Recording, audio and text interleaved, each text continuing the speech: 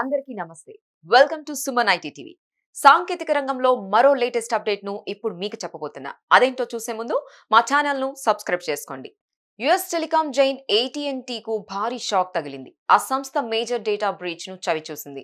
Twenty twenty two May నుంచి October వరకు ఏటీఎన్టీకి కి చెందిన దాదాపు అందరు కస్టమర్ల సమాచారం లీక్ అయినట్లు తెలుస్తోంది. టెలిఫోన్ నంబర్లతో పాటు కాల్స్ టెక్స్ట్ రికార్డ్స్ను హ్యాకర్లు ఇల్లీగల్గా డౌన్లోడ్ చేశారని మీడియాలో వార్తలొచ్చాయి.